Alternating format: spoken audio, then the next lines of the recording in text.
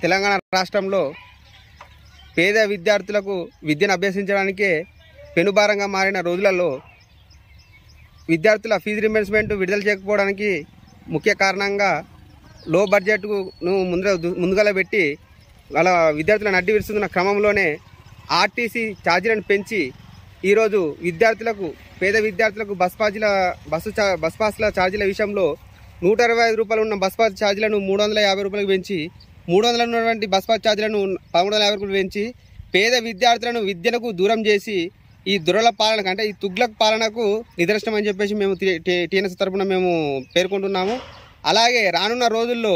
పేద విద్యార్థులను పేద నడి నడి విభాగంలో ఉన్నటువంటి విద్యార్థులను కానీ ప్రజలను కానీ విద్యకు దూరం ఉంచి వాళ్ళ పిల్లల భవిష్యత్తును నాశనం చేసి రేపటి రోజుల్లో ప్రశ్నించే గొంతుకులను నాశనం చేస్తున్నటువంటి ఈ తెలంగాణ ప్రభుత్వాన్ని మేము ఒకటే డిమాండ్ చేస్తున్నాం. ఇప్పటికైనా ఫీజు రిమెర్స్మెంట్ ఉన్నటువంటి బకాయిలను విడుదల వెంటనే విడుదల చేసి